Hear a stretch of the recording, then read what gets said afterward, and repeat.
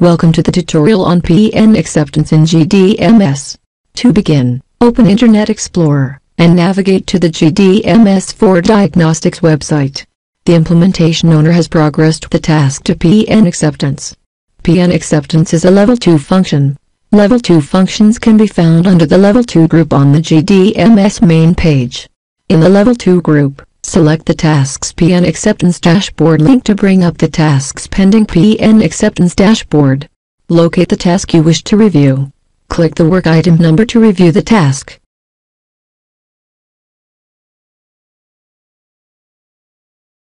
Select the checkbox to the left of the work item link to select the task.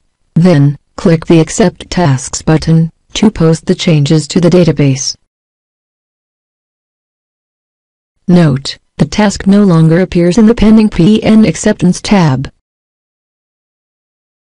The task will now be listed in the Pending Management Approval tab.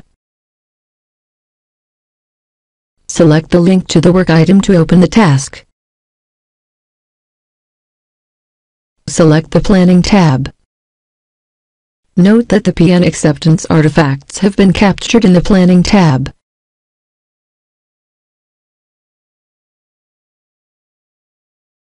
This completes the tutorial on PN acceptance in GDMS.